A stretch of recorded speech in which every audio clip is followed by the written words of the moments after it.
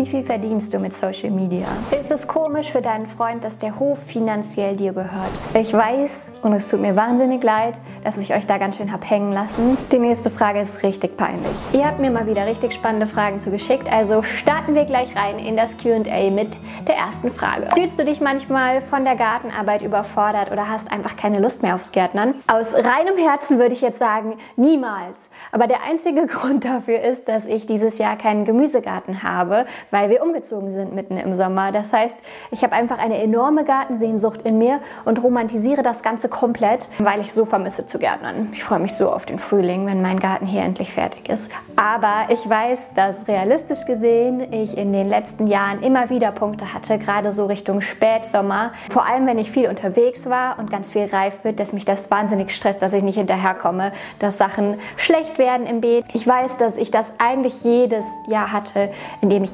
gegärtnert habe. Diese Momente, wenn man das Gefühl hat, man kommt nicht hinterher, bei mir ist das oft kombiniert mit Urlaub und so weiter im Sommer. Also ja, ich kenne das auf jeden Fall und trotzdem ist es für mich gerade komplett unvorstellbar, weil ich so viel Gartensehnsucht in mir habe, dass ich Gärtnern einfach nur toll finde. Was war die schwierigste Entscheidung in deinem Leben? Ich habe da lang drüber nachgedacht über die Frage. Ähm, übrigens, die Fragen sind alle von Instagram und ich finde, ihr habt mal wieder richtig gute Fragen gestellt diesmal. Ich würde sagen, die schwierigste Entscheidung in meinem Leben war, mich von dem Papa von meinem Sohn zu trennen. Nicht, weil ich irgendwelche Zweifel an der Entscheidung selbst hatte, sondern weil es so schwierig ist. Das war die richtige Entscheidung und das wusste ich auch, aber es ist super schwer, das dann zu machen und zu wissen, man macht da irgendwie zu einem Teil seine Familie kaputt.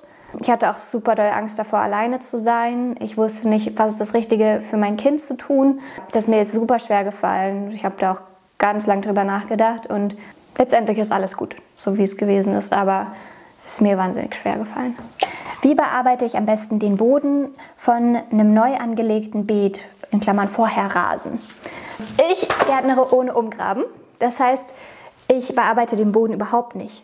Ich lege das Beet einfach direkt auf dem Rasen an. Ich habe dazu auch einen Minikurs gefilmt, der heißt das Gemüsegarten Bootcamp. Da starten wir vom Planen und Beete anlegen und dann gebe ich euch Tipps zum Gärtnern mit an die Hand. Das kostet euch 0 Euro. Das ist was, was ich für meinen Newsletter jedes Jahr neu filme und das könnt ihr euch gerne anschauen. Der Link ist hier oben und im obersten angepinnten Kommentar.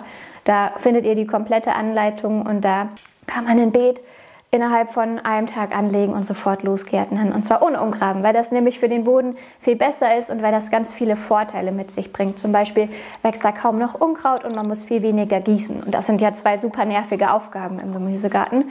Also ja, kann ich absolut nur empfehlen, die Beete komplett ohne Umgraben anzulegen. Habt ihr eure Hündin aus dem Tierschutz? Elli, komm her. Das ist Elli. Guck mal da in die Kamera. Ja, darf es wieder gehen. Die denkt sich auch, was will die Alte? Ellie ist ein Jagdhund, weil mein Freund Förster ist. Also die ist ein Gebrauchshund und deswegen haben wir die von einem Züchter, der Jagdhunde züchtet und die Rasse gibt der auch nur an Jäger ab. Also das ist ähm, sozusagen ein kleines Arbeitstier. Und deswegen haben wir die nicht aus dem Tierschutz. Aber ich bin absolut dafür, dass äh, wenn man sich einen normalen Hund holt, dass man den im Tierschutz holt. Weil es gibt so viele Hunde, die da auf ein neues Zuhause warten. Nur bei Gebrauchshunden ist das halt nicht so einfach wie mit normalen Hunden. Die nächste Frage ist richtig peinlich. Was wurde eigentlich aus der 100 Tage Selbstversorger Challenge? Ich weiß, und es tut mir wahnsinnig leid, dass ich euch da ganz schön hab hängen lassen weil ich diese Challenge gemacht habe. Und ich habe auch immer Kurzvideos gemacht, um das zu begleiten, aber nie ein langes YouTube-Video. Ich glaube, die, die das Ganze nur auf TikTok und so weiter verfolgt haben, wissen, wie es ausgegangen ist, aber ich habe das nie hier auf YouTube mal in so einem langen Video zusammengefasst. Und das liegt daran, dass wir ein großes Problem hatten. Also erstmal hatte ich 100 bis 200 Stunden ungefähr Rohmaterial, weil ich ja jeden Tag sehr viel gefilmt habe, während ich die Challenge gemacht habe. Also vom Pilze sammeln, von den Herausforderungen, von den schwierigen Momenten und den wunderschönen Momenten und dem ganzen Essen. Das war super viel Material. Dann habe ich mich dran gesetzt und das geschnitten, weil ich auch das Gefühl hatte, ich kann das nicht abgeben, das Schneiden, weil das so intime Momente waren. Beim Filmen denke ich mir ja schon ganz viel über den Schnitt und ich hatte irgendwie das Gefühl, ich kann das nicht an jemand anders so transportieren, dass ich am Ende ein Video habe, was so ist, wie ich es will auch wenn ich andere Videos wie dieses hier zum Beispiel nicht selber schneide. Aber es war einfach irgendwie zu persönlich. Das Ding ist nur, ich habe echt nicht viel Zeit. Und erstmal so 100 bis 200 Stunden Rohmaterial zu sichten, zu schneiden, das, das ist extrem viel Arbeit. Dann hatte ich die erste Rohfassung, die war 45 Minuten lang und dann ist die gecrashed. Zwischendurch war ich dann an dem Punkt, dass ich gedacht habe, okay, ich, ich klopp das ganze Projekt in die Tonne, es wird dieses Video nicht geben, weil ich setze mich nicht nochmal dran, es geht nicht. Und dann habe ich mich irgendwann, ich glaube es war im Frühsommer, doch nochmal dran gesetzt und wochenlang dran geschnitten. Jetzt habe ich wieder eine Rohversion von, ich glaube 35 Minuten, aber die ist immer noch nicht so, dass man die irgendwem zeigen könnte. Es wird auf jeden Fall kommen, das Video. Es wird kommen, ich verspreche es euch. Und wenn es in zwei Jahren ist, aber ich will euch zeigen, wie das war, weil das waren 100 sehr krasse Tage. Und das war eine Erfahrung, die werde ich nicht vergessen. Wie hältst du deine Beete schädlingsfrei? Erstmal würde ich sagen, dass ein schädlingsfreier Garten ein ziemlich komischer Garten wäre. Also das wäre ziemlich unnatürlich, wenn da gar keine Schädlinge vorkommen würden. Aber ich glaube, so ist die Frage auch gar nicht gemeint. Und es gibt ja ganz unterschiedliche Schädlinge, aber ich gehe jetzt mal so auf die häufigsten ein. Ein ziemlich fieser Schädling ist der Kohlweißling. Das ist dieser weiße Schmetterling, den kennt ihr bestimmt. Der flattert rum und legt seine Eier vor allem auf Kohlgewächse und da schlüpfen dann Raupen raus und die fressen alles ab. Ich habe die Erfahrung gemacht, dass ich in meinem Garten ohne einen Schutz gegen diese Raupen keinen Kohl anbauen kann der, da bleibt einfach nichts übrig. Und deswegen decke ich die Kohlbeete immer mit einem Kulturschutznetz ab. Das ist ein ganz engmaschiges Netz, das Regen und Luft durchlässt, aber eben die Schmetterlinge nicht an die Pflanzen. Was ja auch richtig fies ist, sind Schnecken. Die können ja auch alles abfressen innerhalb kürzester Zeit. Und da habe ich eine gute Erfahrung gemacht, wenn man zwei Methoden kombiniert. Einmal abends mit der Taschenlampe rumlaufen und die absammeln und dann die Pflanzen, die wirklich gefährdet sind, mit einem Schneckenring schützen. Also es sind so Schneckenkragen, die gibt es aus Plastik und aus Metall, aber es gibt auch so richtig wabbelige aus Plastik. Nehmt wirklich welche, die mehrere Saisons halten, weil sonst finde ich das immer so eine Müllverschwendung. Und die stülpt man einfach so über die Pflanze drüber und drückt die in die Erde und das ist dann wie so ein Zaun, dass die Schnecken da nicht drüber kommen. Man muss nur aufpassen, dass nicht noch ein Grashalm oder ein Blatt sozusagen eine Brücke bildet, über die die Schnecke dann trotzdem über den Ring kommen kann, weil sonst hilft das natürlich nicht. So habe ich eigentlich gar keine Schneckenprobleme. Also einmal absammeln und wegbringen die Schnecken. Ich mache die nicht tot. Ich finde das zu fies. Ich bringe die einfach nur ganz weit weg. Dann die einzelnen Pflanzen schützen, vor allem die jungen Pflänzchen von Kohl und Salat, alles, was die Schnecken halt gerne mögen. Sobald die Pflanzen groß sind oder so im Teenageralter kann man die Schneckenkragen dann auch abnehmen. Und dann gibt es noch stechsaugende Insekten, wie zum Beispiel Blattläuse. Und da habe ich super Erfahrungen mit Niemöl gemacht. Ich sage mal Niemöl oder Niemöl. Ich sage immer so eine Mischung, so dass man es nicht so genau weiß. Aber das hilft gegen alle möglichen stechsaugenden Insekten. Es ist gut, immer ein bisschen was davon da zu haben, egal wie man es jetzt ausspricht. Wie geht es mit dem neuen Hof voran? Die Frage kam auch ganz oft. Auch die Frage, die nächste passt auch dazu. Wann kommen endlich neue Videos zum Hof? Die Sache, warum auch gerade nicht so viel Updates zum Hof kommen, ist, dass ich einfach bisher kaum da war. Also wir wohnen jetzt drei Monate hier, aber davon war ich ungefähr die Hälfte der Zeit unterwegs, weil ich auf den Video Days war, auf dem YouTube Festival, auf dem Battle of the Socials. Ich war in der Schweiz und in Deutschland haben wir verschiedene Kursteilnehmer von mir besucht und deren Gärten angeschaut. Das war richtig toll. Ich war in England. Wir hatten noch einen Urlaub zwei Wochen. Einfach alles hat sich so gebündelt in dieser Anfangszeit vom Hof, dass äh, habe ich irgendwie bereut, dass ich meinen Terminkalender da so vollgeballert habe, weil das ja eigentlich die Zeit ist, auf die ich mich so lange gefreut habe. Also eigentlich seitdem ich ein Kind bin. Deswegen ist es immer noch so, dass wir nicht alle Umzugskartons ausgepackt haben. Ja, wir haben die Wände gestrichen, ja, wir haben den Fußboden fertig, aber sonst ist einfach nichts passiert. Aber der Herbst und Winter sind ruhiger, da werde ich nicht so viel unterwegs sein. Und dann bekommt ihr auch bald wieder Vlogs und so weiter und es wird viel mehr passieren. Dazu fällt mir noch ein, dass ich immer wieder auch Kurzvideos mache, also meistens schon jede Woche, manchmal auch mehrmals pro Woche, wo ich euch so kleine Updates gebe. Die lade ich immer hier auf YouTube in den Shorts hoch. Also da könnt ihr immer mal reinschauen, um so ein kleines Update zu bekommen was gerade los ist. Und ganz bald kommen wieder große. Wie und wo hast du deinen Freund kennengelernt, ist die nächste Frage. Da muss ich euch erstmal ein bisschen enttäuschen, weil ich das nicht erzählen werde. Aber ich kann so ein bisschen darüber erzählen, wie ich das mit Beziehung und Beziehung teilen so sehe. Ich habe einen starken Beschützerinstinkt für meine Beziehung. Nicht unbedingt für meinen Freund, der kann auf sich selber aufpassen. Aber ich mag irgendwie das, was zwischen uns ist, vor dem Internet beschützen. Ich merke das auch jetzt gerade mit diesem Gossip-Skandal da. Ich musste Stories, wo mein Freund und man nur seine Arme gesehen hat, löschen, weil die Leute angefangen haben, ihn zu beleidigen. Ich weiß nicht, was da so der beste Umgang mit ist, weil wir merken auch jetzt, wo wir auf dem Hof auch zusammen an Projekten arbeiten, ist es mit dem Film super nervig, dass ich ihn nicht zeige. Oder ich zeige ihn Menschen von hinten oder keine Ahnung, so, dass man sein Gesicht nicht sieht. Ich glaube, er hätte jetzt auch nicht so ein Problem damit zu, zu sehen zu sein oder ja, dass man weiß, wer er ist, aber ich habe das irgendwie ja, deswegen halte ich ihn irgendwie so ein bisschen raus, aber wir sind da auch nicht am Punkt angekommen, wo wir sagen, das ist so unsere Lösung, sondern wir werden vielleicht auch irgendwann eine andere Entscheidung treffen, auch weil es einfach nicht so praktikabel ist. I don't know. Im Moment halte ich ihn da raus. Was mache ich mit meinen Kompostbeeten im zweiten Jahr? Kompostbeete sind die Beete, die man ohne Umgraben anlegt. Ich habe ja eben erzählt vom Gemüsegarten Bootcamp. Im zweiten Jahr muss man eigentlich gar nicht viel machen. Man sollte so alle zwei bis drei Jahre nochmal eine dünne Kompostschicht ausbringen, also nur so zwei bis drei Zentimeter, weil sich durch die Regenwürmer und wenn man so ein bisschen hakt in der Erde, ja, der Mutterboden und der Kompost vermischen und sonst wieder Unkrautsamen nach oben kommen können. Deswegen äh, frischt eure Beete immer mal zwischendurch so ein bisschen auf. Man sieht das auch dem Boden an, wenn der sich so sehr verändert. Dann ist es wieder Zeit für eine dünne Kompostschicht und ansonsten müsst ihr da überhaupt nichts mehr machen. Immer schön mulchen, das ist wichtig und immer alle paar Jahre mal ein bisschen Kompost rausbringen. Die nächste Frage kam auch sehr, sehr oft und irgendwie freut mich das, weil ich die Idee total schön finde. Nämlich, was halten Sie, ihr müsst mich nicht siezen, ne? Was halten Sie von einem Wurzelwerk Adventskalender? Das ist was, wo ich schon seit Jahren drüber nachdenke, weil ich Adventskalender liebe. Ich liebe auch die Weihnachtszeit. Ich liebe es, mich darauf zu freuen. Ich würde super gerne einen Adventskalender rausbringen, aber ich habe noch ein bisschen Respekt davor, wie viel Arbeit das ist. Und ich habe auch so viele Fragen. Also es gibt ja sehr viele einfach reine Saatgut-Adventskalender, aber irgendwie weiß ich nicht, wie es euch geht. Vielleicht reicht euch das ja auch dann wäre es easy, dann könnte ich auf jeden Fall einen rausbringen. Natürlich nicht mehr dieses Jahr, sondern nächstes. Aber ich fände es schön, wenn auch noch irgendwie ein paar andere Sachen, die so im Selbstversorger-Kosmos rumschweben, mit dabei wären. Vielleicht ein paar Pflanzschädchen, vielleicht mal eine Ballbrause zu Weihnachten oder so. Ja, auch mal ein richtig leckerer weihnachtlicher Tee. Was haltet ihr davon? Immer mal was Süßes, aber nicht zu viel.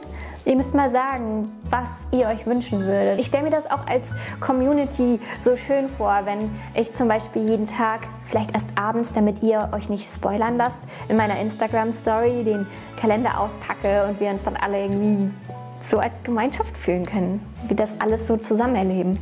Ja, ich finde die Idee total schön aber ich brauche euren Input. Das ist auch eine richtig schöne Frage und ich weiß, dass ihr euch das total doll wünscht.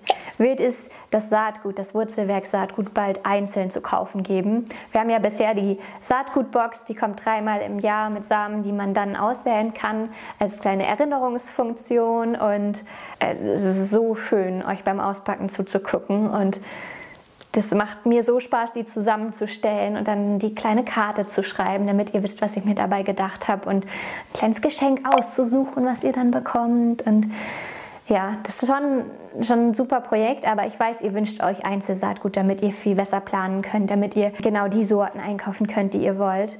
Und wir haben es gehört. Wir arbeiten schon sehr lange daran, ein Sortiment zusammenzustellen. Und es kommt Ende November raus. Ich freue mich so, euch das zu erzählen. Das Saatgutprojekt ist wirklich somit eines der schönsten Projekte, die ich bisher gemacht habe. Das ist so unglaublich, diese Tüten in der Hand zu halten mit diesen wunderschönen Illustrationen. Also, Ende November geht's los. Dann haben wir ein Sortiment, wo ihr euch die Tütchen einzeln rauspicken wollt, wenn ihr außerhalb der Box einzelne Sorten bestellen wollt. Das wird so cool.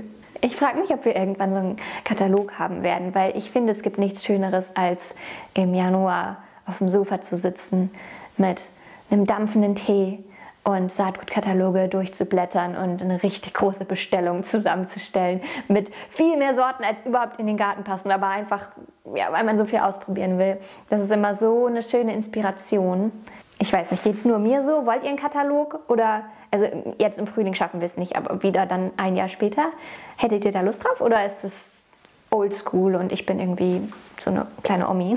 Fühlst du dich manchmal überfordert mit der ganzen Arbeit, die auf dem Hof auf euch wartet? Ehrlich gesagt ärgert mich das mittlerweile so ein bisschen, dass gefühlt jeder sagt, oh, das ist ja bestimmt so viel Arbeit auf dem Hof. Und klar, das ist nicht keine Arbeit, aber das ist ein Hof, der sehr gut in Stand ist.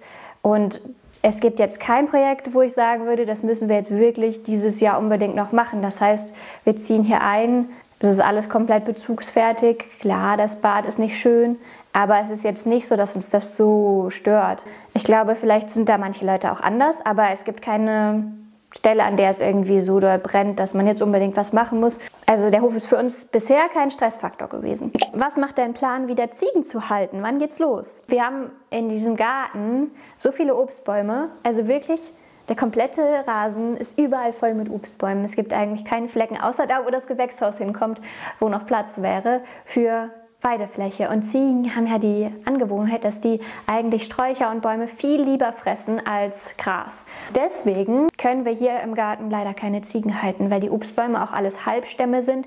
Das heißt, selbst wenn ich den Stamm schütze, werden die auf die Hinterbeine gehen und alle Obstbäume bis auf eine Höhe von zwei Metern abfressen. Also ich hatte sehr lange Ziegen, seit ich zwölf war. Und seit einem Jahr habe ich keine mehr. Das wird sich auch erstmal nicht ändern, weil es hier nicht möglich ist. Es gibt ja auch so Mini-Kühe, ne? Ich weiß, der Garten ist wahrscheinlich ein bisschen zu klein, aber diese Mini Highland Kettle sind so unfassbar süß. Große Versuchung. Die geben auch nicht so viel Milch, aber wir brauchen auch nicht so viel Milch. Es muss nur für, ein, für einen Kaffee reichen. Ich muss nicht unbedingt Käse machen, wenn die süß sind. Das ist schon okay. Ich habe wirklich schon Züchter rausgesucht, weil ich so begeistert von denen bin. Ich glaube, es ist ein bisschen übertrieben. Was sagt ihr? Was sind die anfängerfreundlichsten Gemüsepflanzen? Ich würde einfach mal so raushauen: Zucchini, Knoblauch, Mangold, die wachsen ohne Probleme. Also da kann man wirklich nichts falsch machen oder nur sehr wenig Sachen. Radieschen sind auch schön, weil die super schnell wachsen, weil Gärtnern ist ja so, man wartet lange darauf, dass man irgendwann belohnt wird. Gerade wenn man anfängt, ist es, glaube ich, sehr motivierend, wenn man dann schon mal die erste Sache erntet. Und ich sag's euch, das ist so ein Glücksgefühl, wenn man die erste eigene Ernte in den Händen hält und weiß, ich habe das aus Samen und Erde gezogen. Deswegen würde ich euch die ans Herz legen, aber es gibt noch so viel mehr Gemüse. Die meisten kriegt man auch im ersten Jahr ohne viel Erfahrung hin.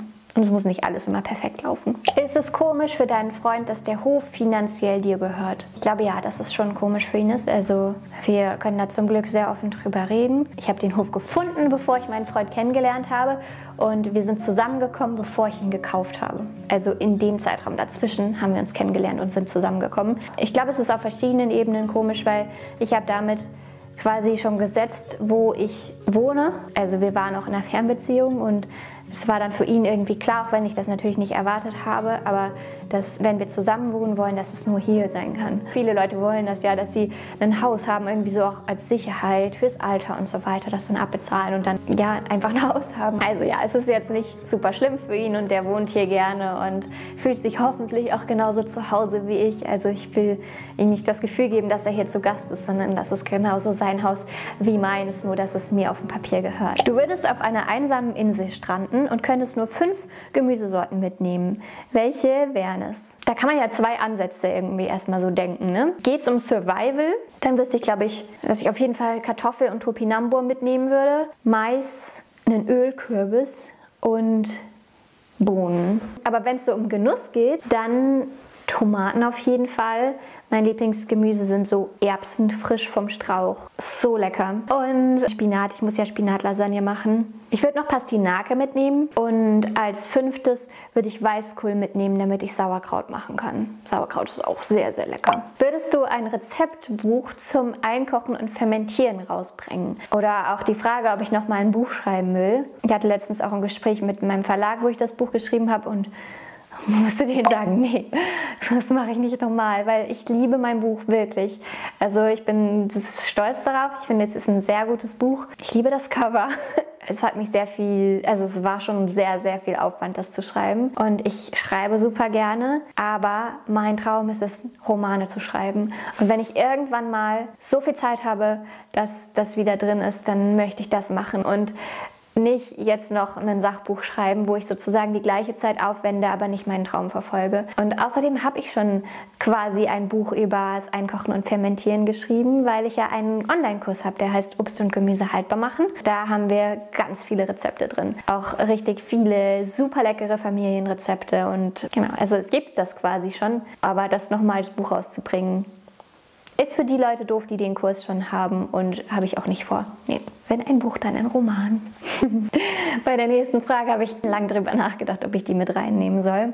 Wie viel verdienst du mit Social Media? Da muss ich erstmal so ein bisschen ausholen, weil wenn ich im echten Leben Leute kennenlerne und die irgendwann hören, so, das ist mein Job, YouTube-Videos zu machen, dann fragen die immer so, hä, wie kann man denn davon leben? Wie funktioniert das? Einerseits bekommt man halt über YouTube Werbeeinnahmen. Ich bekomme jeden Monat, je nachdem wie viele Aufrufe ich hatte, einen Betrag überwiesen. Ich kann euch gerne sagen, wie viel das ist. Das schwankt halt sehr stark. Allein schon, weil meine Themen sehr saisonal sind. Das heißt, im März habe ich viel mehr Aufrufe als im September. Also die Shorts, die gehen durch die Decke. Manchmal habe ich, keine Ahnung, 10 Millionen Shorts-Aufrufe im Monat. Das ist nicht saisonal bedingt, weil ich da eher so Vlogs mache. Aber dafür kriegt man auch nicht wirklich Geld. Aber für die langen Videos da schwankt es halt sehr, weil ihr halt im Frühling die Gartenvideos guckt und nicht im Winter. Das sind, sagen wir so, zwischen 3.000 und 10.000 Euro im Monat, die ich davon bekomme. Man muss sagen, ich habe ein Team von 14 Leuten. Die kann ich damit natürlich nicht annähernd bezahlen. Also auch Kameraequipment ist teuer. Allein das, was ich nur von Social Media bekomme, von Instagram bekomme ich zum Beispiel nichts. Keine Werbeeinnahmen. Von TikTok habe ich mich noch nicht angemeldet dafür, sollte ich mal machen. Also YouTube ist die einzige Plattform, die mir sozusagen sozusagen direkt Werbeeinnahmen ausschüttet. Aber davon könnte ich Wurzelwerk, so wie wir das gerade haben, nicht stemmen, weil da halt noch so viel mehr dazu gehört. Der Rest trägt sich halt selber. Also ich habe zwei Online-Kurse. Gemüsegarten starten ist der zum Gärtnern. Obst und Gemüse haltbar machen ist der zum Haltbarmachen der Ernte.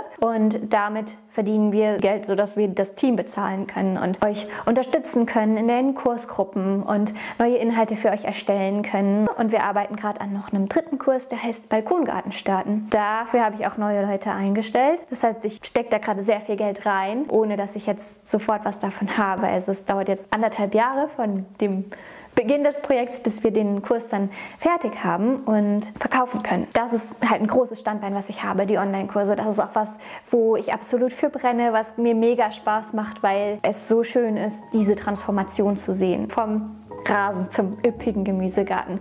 Hoffentlich jetzt bald vom leeren, hässlichen Balkon zu einem richtigen Stadtdschungel. Das macht wahnsinnig viel Spaß und wir haben eben jetzt auch unser Saatgut rausgebracht. Ein riesiger Meilenstein für mich persönlich. Das ist gerade noch so mit dem ganzen Online-Shop. Also wir verkaufen auch Werkzeuge und die Schneckenkragen, die Kulturschutznetze, von denen ich euch erzähle. Also all die Sachen, die ich euch sowieso immer empfohlen habe, weil ich die super finde, kaufen wir ein und verkaufen die im Shop. Das ist gerade halt auch noch so ein riesen Anfangsinvestment, weil ich dieses riesige Lager füllen muss muss, dann liegt da ein großer Warenwert, der sich natürlich noch nicht abverkauft hat. Es ist jetzt gerade zum ersten Mal so, dass ich auch ein bisschen mehr gucken muss, so finanziell, was für Entscheidungen treffen wir in der Firma. Aber ich kann sehr, sehr gut davon leben, was ich mache, weil als ich angefangen habe mit meinem Blog damals noch, mit 18 bin ich schwanger geworden, da war ich noch in der Schule, bin dann ausgezogen in so eine Einzimmerkellerwohnung mit dem Papa von meinem Sohn und wir haben halt aus den Mülltonnen gegessen, weil wir kein Geld hatten, uns Essen zu kaufen.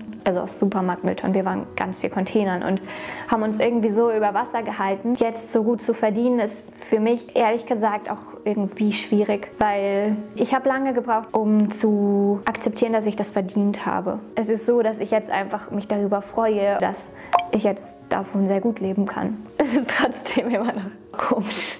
Aber ich glaube, weil ich es halt so anders kenne. Einfach nur ein riesengroßes Dankeschön, dass ihr mich und meine Projekte unterstützt. Das ist wirklich nicht selbstverständlich. Und wenn ihr weiterschauen wollt, dann findet ihr da drüben mein letztes QA, wo ich ganz viele Fragen rund um den Hof beantwortet habe. Und ansonsten geht raus, macht die Welt ein bisschen grüner. Und wir sehen uns im nächsten Video wieder. Macht's gut. Tschüss. Das nächste Video wird ein Hofvlog.